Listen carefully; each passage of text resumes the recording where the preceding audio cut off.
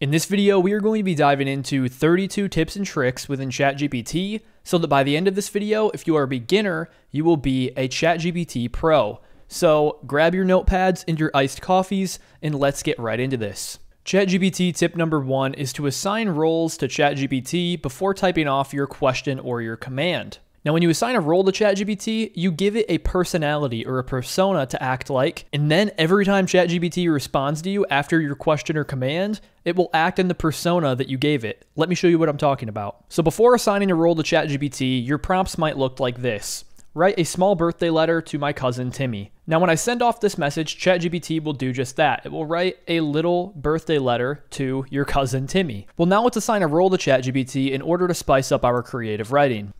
And whenever you're assigning a role, always start with act as.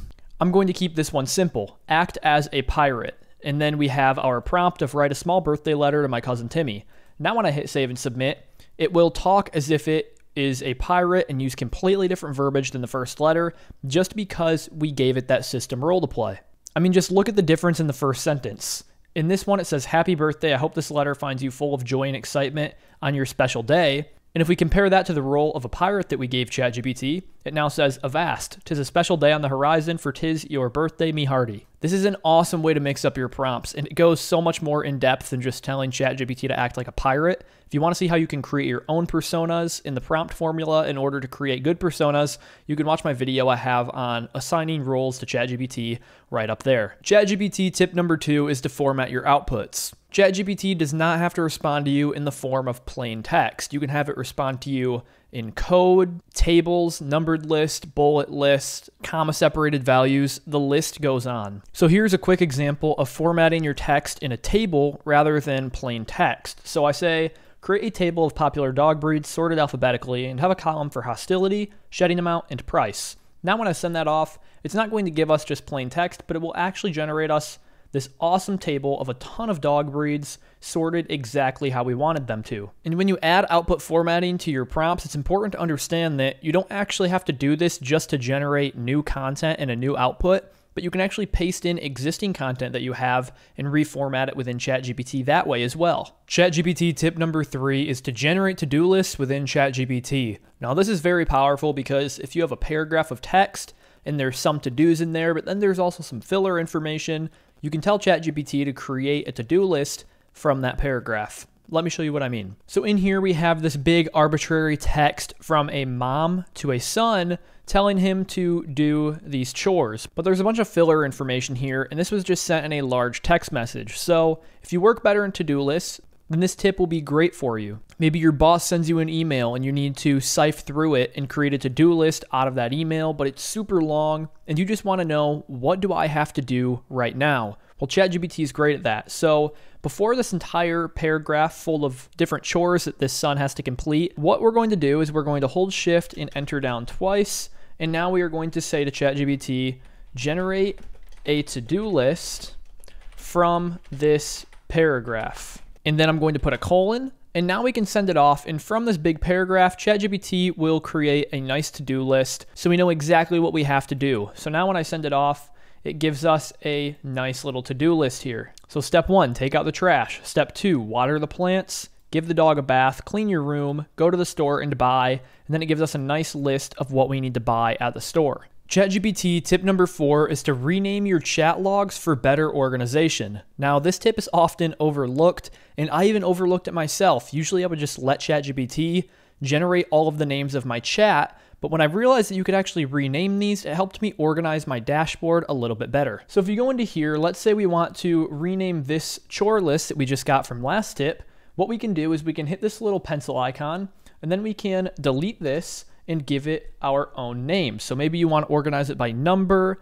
by person, whatever it may be, you can list it here. Maybe I'll just name this one chore list and I will put the date. And when you're done making your edit, what you have to do is hit that little check mark and then it's nicely named for you. ChatGPT tip number five is to prompt follow-up questions. Now this one may seem a little bit broad and there are multiple follow-up questions you can ask ChatGPT, but it's important to understand that After your first response, the thread doesn't stop there. ChatGPT actually can keep on talking and going within that thread. And it doesn't have to be just questions either, it can be commands as well. You could tell ChatGPT to go a little bit deeper or explain something step by step there are so many different follow up commands based on your situation, but it's important to understand that you can learn a lot more when you actually keep on prompting follow up questions or commands. Now, let's take a look again at this to do list example where we generated a to do list from this paragraph and got all of these items. What we could tell ChatGPT to do is to organize these tasks based on how long they're going to take, and then order all of these chores from the one that takes the most time to the least time. So what we've told ChatGPT to do in this follow-up question and command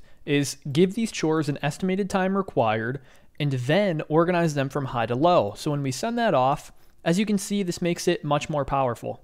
So if we want to get those hard, heavy tasks out of the way first, now we have them organized with an estimated amount of time. ChatGPT tip number six is to use explain it to a child within ChatGPT.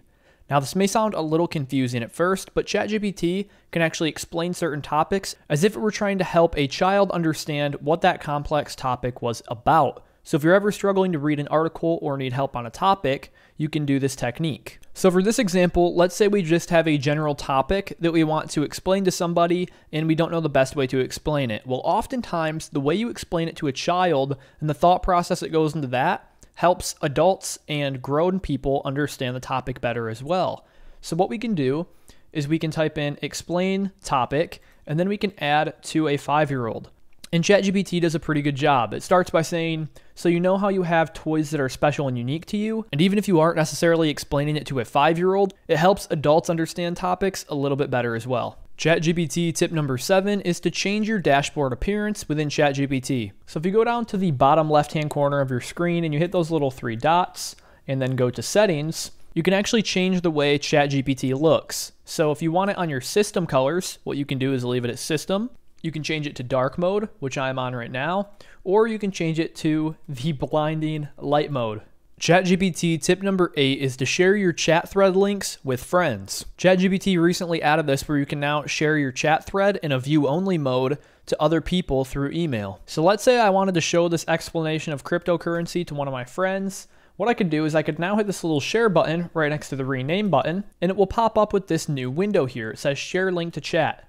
You can rename your chat right here, and you also have the option to either share your name or share this anonymously. Then what I can do is I can hit copy link. So if I were to go to that link, this is what it would look like. ChatGPT tip number nine is to change the tone of your writing. You can either do this with existing writing or generated writing that ChatGPT generates for you. So let's say you have an email and you aren't in your best writing mood and you want to make this a little bit more formal. Well, what you can do is you can change the tone of your writing to be in a more formal manner. So we have this email that I'm sending to my fake boss and it says, Hey John, hope this email finds you well. I wanted to give you a heads up that I won't be able to make it into the office today because I ain't feeling too well. So I have some odd text here because I ain't feeling too well. You know, it's pretty informal. And then I say, Don't worry about me. Have a good one, Drake we need to spice this up. We need to make this formal in order for my boss not to fire me because I'm leaving these types of emails. So what I can do is I can enter down a few times while holding shift,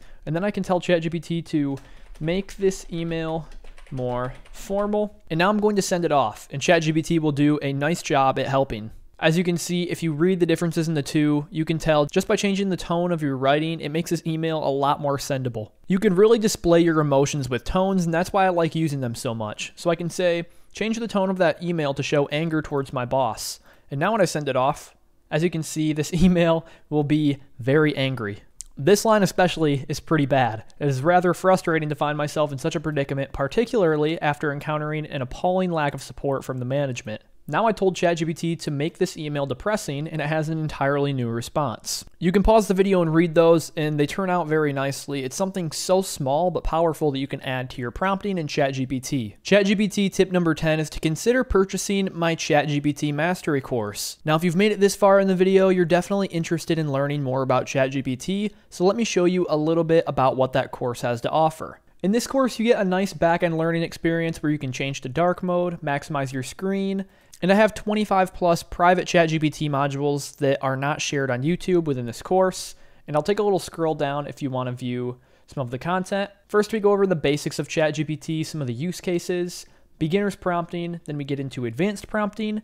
I dive deep into the plugins and web browsing features, ethics and limitations. Then I go into concepts about how I've applied ChatGPT for success in my life, from scaling my income to making health and workout plans customized to my specific metrics. And then this last section here shows you how to install the free Notion template that I also give you with access to this course. Now, with the course, you'll also obtain entry to the ChatGPT Mastery Group, which is a private group of actively learning ChatGPT enthusiasts like yourself. So, if you work better in a course, you know, self study, learning step by step how to become from an absolute beginner to a pro and a master of ChatGPT, then that course might be for you. So, I'll leave a link in the top pinned comment in the description below so you can go to that page to get a little bit more information about that course if it's something that you're interested in. ChatGPT tip number 11 is to be concise within your prompting. Now, I'm sure you hear this flying around a lot within the ChatGPT space to be concise, but it is very important to be as concise as possible with what you want out of ChatGPT. It's also very important when you're doing more advanced prompting techniques to tell ChatGPT exactly how you want it to act or how you want it to format your output. If we take a look at this table I created within the output formatting tip, as you can see, this was a pretty concise prompt. Create a table of popular dog breeds sorted alphabetically and have a column for hostility,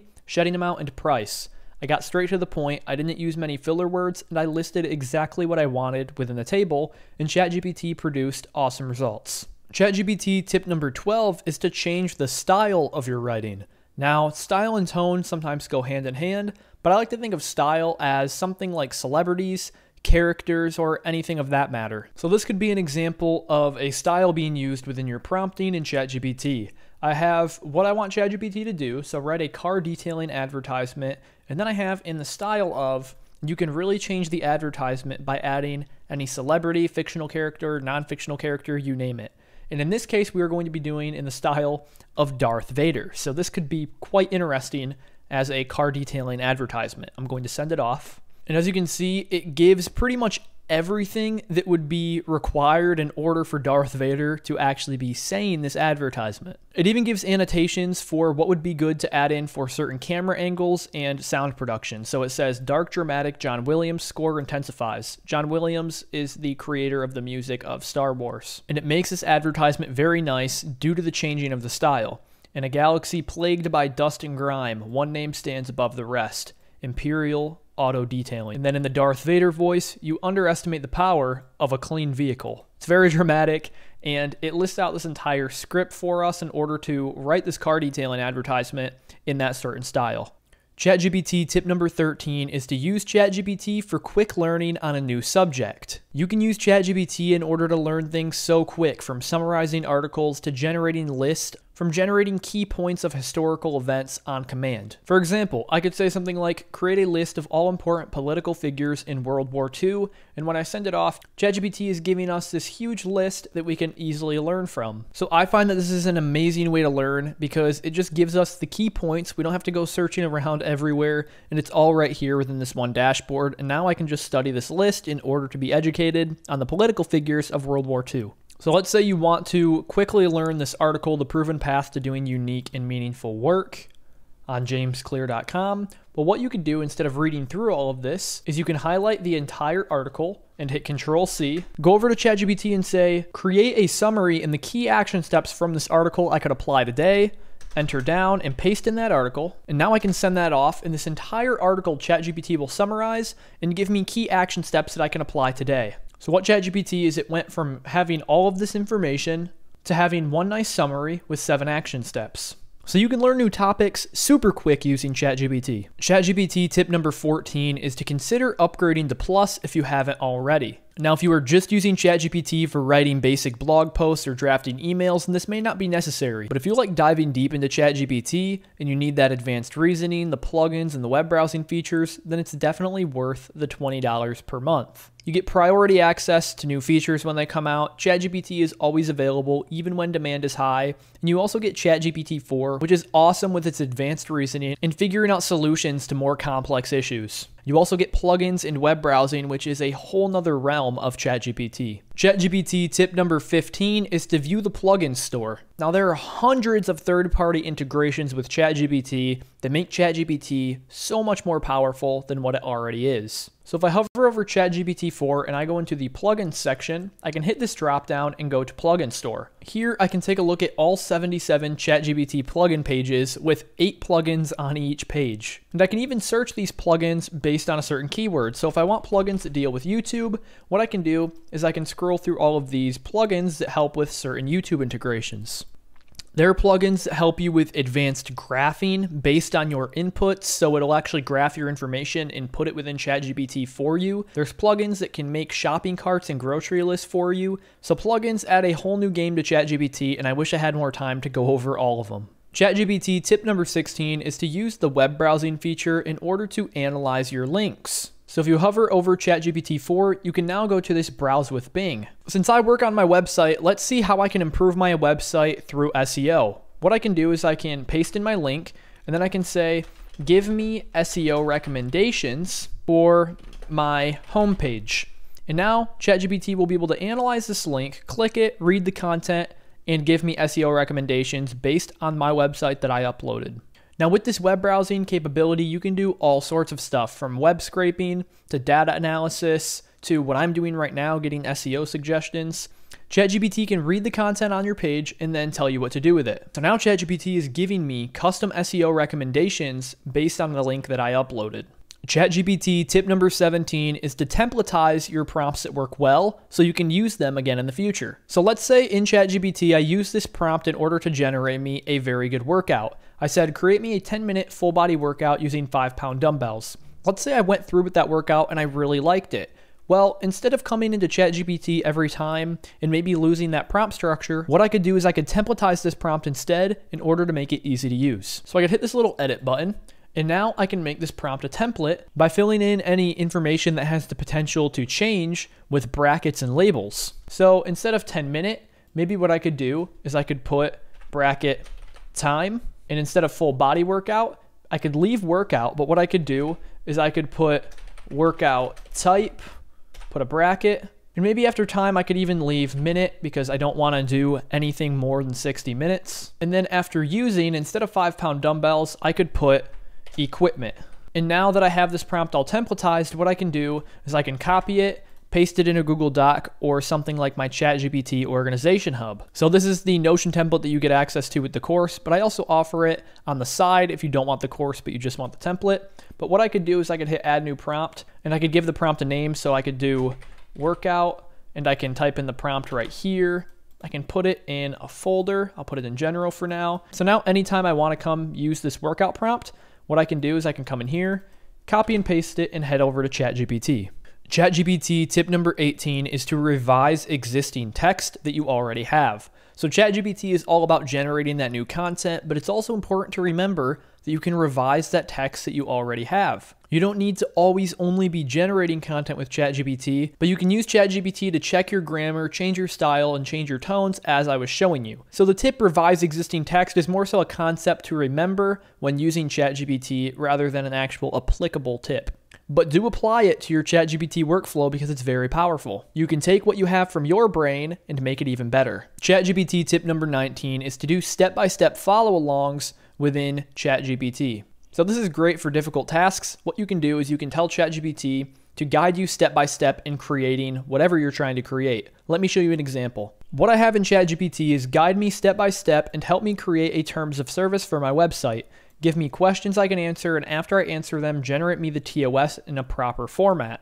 Now, obviously, you would actually want to get legal help for this, but I'm just showing you the complex situations that ChatGPT can help guide you with step by step. So when I send it off, as you can see, it will do exactly as I asked, and it will help guide me through creating this terms of service. So now it gives me all of these questions that I need to answer in order for it to properly generate that terms of service that I needed help with.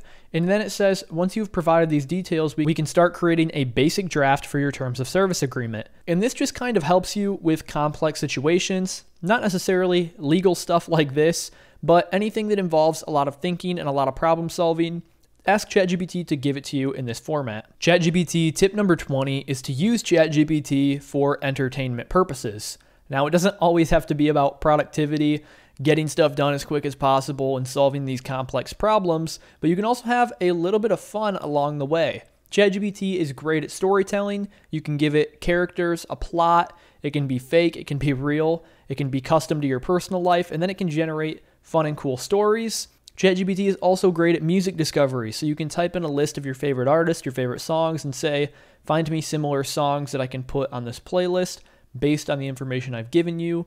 You can do the same with film and book recommendations. So if you like a certain film or you like a certain book, you can type that into ChatGPT and say, give me more suggestions based on this. Once again, ChatGPT is limited in knowledge up to 2021. So if you do have anything past that, it might not understand it too well. Tip number 21 is to use ChatGPT for coding assistance. I've personally used this multiple times when it comes to my website because I am not a developer by any means. I know very little code, and what I do know isn't enough to get me through, so I can type in my problems to ChatGPT and it can help work through some of that code. Let me give you a quick example about how I go about my code, which is probably a very bad way of going about it, but it actually works. So let's say I want to change the look of this button. What I would do is I would hover over it and I would hit inspect, and then I would copy the entire button class that I'm trying to change. Then I would hover over copy and select copy element. And then I would give my command, so help me change the CSS of this button to be orange and blue. And then I would just paste in that entire element I copied. And a lot of the time I just paste it in in this format that isn't very good. But when I send it off, ChatGPT generates a nice code block for me and I would say 90% of the time, this method works for me when it comes to generating CSS. As you can see, it goes in depth. It gives me nice code blocks where I can copy this code. I can also upload existing code and ask ChatGPT, what am I doing wrong here? And it will give me a nice response on how to fix that. And a lot of the time, it actually gives you the code in that fixed format. ChatGPT tip number 22 is to brainstorm new ideas. Now, brainstorming in ChatGPT is one of its most powerful methods of learning and generating knowledge, in my opinion. It's what I actually use it for most. I like how it gives me all of these ideas, and then I can pick and choose from a list of ones that I like. So I can type into ChatGPT something like, help me brainstorm business name ideas. And when I send it off, what it will do is it'll kind of guide me through this process on how it can help me with brainstorming. So it says to provide the most relevant suggestions, could you please provide me with more information? The industry, products, services, target audience, and any specific words or themes I would like to incorporate. So then it kind of gets your mind spinning. It's like, okay, so now I have a list of things that I can give ChatGPT, and it will generate results based on that. So I've given ChatGPT extra information. Artificial intelligence is the industry, and courses are the products. I want this name simple and luxurious, and then I can say something like, give me 20 suggestions and I can send it off. And this is just a great way to brainstorm. It kind of helps pick your brain on what you actually want, and it gives you suggestions that you don't necessarily have to pick, but it's a good foundation and it's a good start to build off of. ChatGPT tip number 23 is to use ChatGPT as a tool for mediation. So if you have a central problem that two people are disagreeing on and you have both sides of the stories and you want to settle this through the flip of a coin, well, what you could do is actually, instead of flipping a coin, use ChatGPT to decide which is the most logical way of going about this problem or who has the most rational idea when it comes to the issue. Now, of course, when it comes to much bigger problems, this is a bad way of going about it because ChatGPT can't feel physical emotion. An emotion is completely out of play here. It's going strictly off logic. So what I've done is I've typed out this fake problem of two people disagreeing over who should get the last gummy bear within the bag of gummy bears. So my friend Jane and I are discussing this and we are arguing over it on who should get the last one. So what I tell ChatGPT is the problem is who should get the last gummy bear in the bag? Jane's argument, and then I list out Jane's argument. I should get the last gummy bear because I bought the packet and shared it with you. It's only fair that the purchaser gets the last piece, right? My argument, but Jane, I should get the last gummy bear because I dreamt about a giant gummy bear chasing me last night. It's a sign I need to eat this one to ward off any future gummy bear nightmares. And then we can ask ChatGPT, the mediator in the situation, who should get the last gummy bear. And ChatGPT gives a bunch of information on the outcomes of the argument. And it says, based on these considerations, Jane's argument seems more grounded and widely accepted in principles of fairness and respect. So in that case, Jane would win that argument. ChatGPT tip number 24 is to use ChatGPT in order to journal. Just like me showing you that example going through the step by step guides, ChatGPT can ask you questions in order to write an effective journal on your day. So, what I've done is I've asked ChatGPT to ask me questions that I can answer for my daily journal, and after I answer them, format my journal from my text. So now when I send it off, ChatGPT will give me a list of questions in order to help me write a good journal, and then it will format it all for me. So now I've answered these questions with some arbitrary information, and when I send it off, ChatGPT will finish the job of creating this nice journal entry for me. And it does a pretty good job by asking you those important questions that go well within a journal, and it even gave me a nice journal entry date, which is today, July 3rd, 2023. ChatGPT tip number 25 is to export your chat logs to your email within ChatGPT. This can be a good way to secure and save your information, especially if you're learning something new and you don't want to lose that chat thread, then exporting your chat logs could be a good way to go about saving that. You can export your chat logs by going to the bottom left hand corner of your screen and hitting those three dots, then going to settings.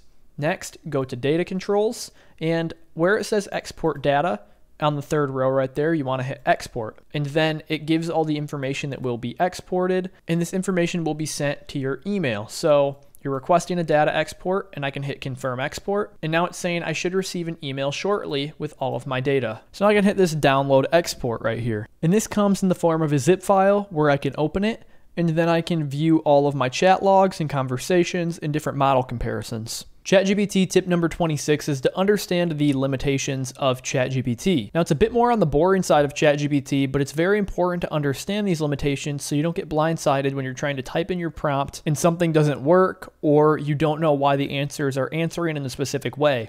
So some of the most important limitations are its knowledge availability. That's why the web browsing feature is so awesome, but it's limited up to knowledge to September of 2021, so that is a limitation of ChatGPT. Also, it does have a bit of a bias because it's been trained on human knowledge from the internet, so if there is a bias on the internet, then it will also acquire some of that bias. Now, another limitation is it does sometimes generate non factual or plagiarized information, so it's always important to check that. ChatGPT tip number 27 is to use human like text within your inputs. You don't need to try to sound formal or try to make yourself sound like a professor when you're talking to ChatGPT. It's important that you talk to it as a human would talk to it because that's the kind of knowledge it's been trained on is human-like conversation. Now there's a fine line to draw between talking too much like a human and not being concise and providing proper context within your prompts as well. So you have to be careful with that. ChatGPT tip number 28 is to check your responses for plagiarism before copying and pasting your answers. So if you get a new story, a new creative writing, blog post, advertisement, whatever it may be, before you upload it to anything important, always check for plagiarism. Now, I haven't had any experience with plagiarism, but I have heard of others experiencing some. So before you upload your text to anything important, make sure that you check it for plagiarism so you're not accidentally taking somebody else's work. ChatGPT tip number 29 is to use ChatGPT for studying. So this is great if you want to, like I showed you earlier, learn something very quickly by summarizing it, but you can also use it for more of a studying concept like flashcards. So if we take our list of important World War II political figures from earlier and we paste it into ChatGPT, I can say, here's a list of some important political figures during World War II, and then I can list out all of those political figures and what they were doing at the time. And next I can tell ChatGPT to generate me flashcards and give me a quiz. So I told ChatGPT to generate me flashcards on these political leaders and quiz me by saying the description, and I have to answer with the name correctly. If I'm correct, say correct and move on. If I'm incorrect, say incorrect, then give me the right answer and then move on. So we have some complex descriptions here for ChatGPT. That is why I am in ChatGPT 4. But I'm going to send this off, and now ChatGPT is going to generate some interactive flashcards. But what I can do is answer, and if I get it correct, let's see if it does its job. So I'm going to paste in that answer there, and this should be correct. Let's see what ChatGPT does. Correct. Let's move on to the next one. And then it goes on to the next question that I have to answer. So this is great for studying, or you can even do this with job interviews for a specific position as well. ChatGPT tip number 30 is to use your generated knowledge in order to create more creative writing. So this is kind of a cool little approach, and it's more of an advanced prompting technique, but what you're actually doing is you're creating knowledge within ChatGPT, you're taking that knowledge that you created within ChatGPT and generating more creative writing in ChatGPT. So first what I can do is I can generate some knowledge. So for this example, I'm going to say, give me 10 cowboy movies before the year 1950, and now I can send it off. And now that I have all of these 10 Western movies generated, what I can do is I can use this curated knowledge that I came up with, and then I can use this knowledge that was generated in order to make some new creative writing. So now that I'm still in my chat thread, I can write out something like, write a blog post about how these films impacted the Western genre and Hollywood. So now I'm using this curated knowledge that I generated with a custom prompt and I'm using it to create yet another custom output for ChatGPT.